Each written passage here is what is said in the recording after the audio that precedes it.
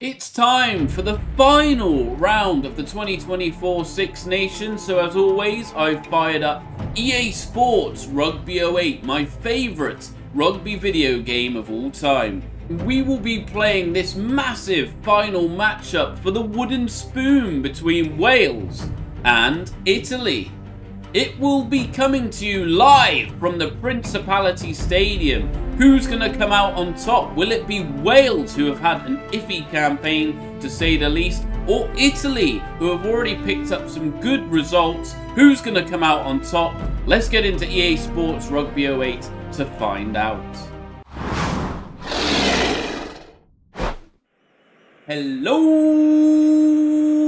rugby fans, and welcome back to the channel. Today, as mentioned, I'm here on the GOAT EA Sports Rugby 08 to start recreating the final matches in the 2024 Six Nations. And what a huge one to begin with. It's the battle for the wooden spoon. We've got Wales at home to Italy. Gonna be a blockbuster matchup for sure. I'm really not sure which way this one's gonna go. And of course, Stick around into the second half when I will give you my score predictions for this game. Who do I think's going to win? Who do I think's going to unfortunately take away that wooden spoon? Like I said, it's going to be a really, really interesting match. Italy have shown glimpses, particularly in the draw against France.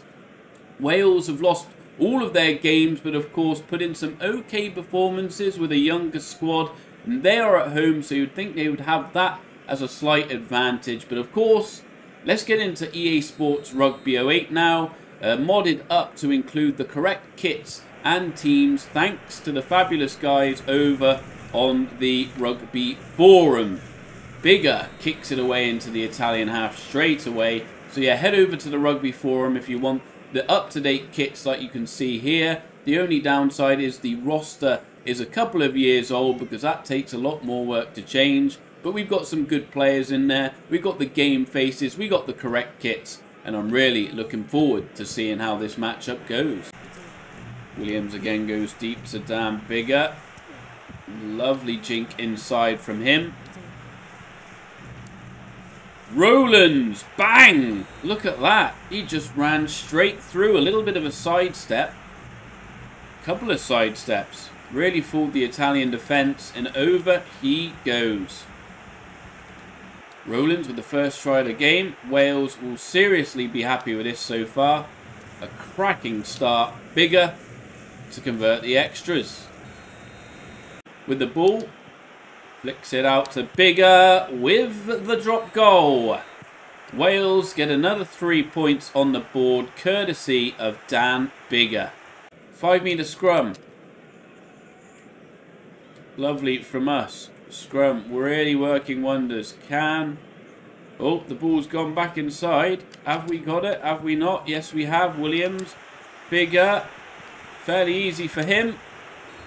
Lovely move from the scrum. That is Wales' second try of the game. Not sure what those Italian defenders were doing.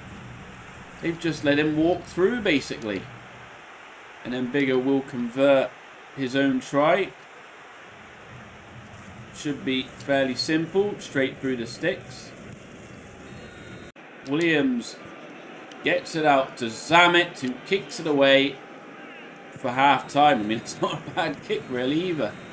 Italy have been all over the shop in this first half. Injuries, substitutions, and Wales are 17 points to zero up. Good first half for them so far. So let's start this second half Biggar to get things underway. Everything's going according to plan for Wales so far. 17 points to, to the good against this Italian side who you thought would have been really, really up for this. Of course, as we get later on into the second half, I will give you my score prediction for this game. Tipuric picks it up. Josh Adams, a little bit of silky skill from him fend off. Josh Adams dives over for Wales' third try of the game. They have come out absolutely firing in this one. Italy all over the shop making mistakes, injuries, substitutions. Dan Biggar to kick this one over and to almost wrap up victory already. Beard. Lovely inside pass to Marin. He's away. And there doesn't seem to be anyone there to stop him. Marin goes over for the Italians' first try of the game. Is it too little too late? It was a fantastic score, you have to say. Sloppy from the Welsh defenders. They're celebrating. I mean, come on, you've got a bit of work to do now. We've got an injury in the prop department. Francis. See if Italy can nail this conversion to go seven points clear. Up he steps. So what do I think of that this matchup in real life? Wales versus Italy. I mean, uh, Italy have put in some real glimpses of good performance in this Six Nations. And I would love nothing more than them to beat Wales and really back that up. You know, particularly the draw in France, which they should have probably won that game. I just think Wales at home are going to be a little bit too strong. They themselves have shown glimpses of quality. Of course, they've got a young rebuilding squad. Um, I just think being at home will be that be-all and end-all. I mean, I'm in a win-win situation here because I'm predicting a Wales win. But if I'm wrong, then I'm happy because the Italians have won. So yeah, I'm going to go for a Wales victory and I'm going to say 21 points to Wales and 17 to Italy. So I'm going 21-17. I don't think it's going to be a walkover by any stretch of the imagination. And it's a match I'm really, really looking forward to. Both teams are going to be really up for it to try and avoid that wooden spoon and finishing bottom of the Six Nations. Let's see if...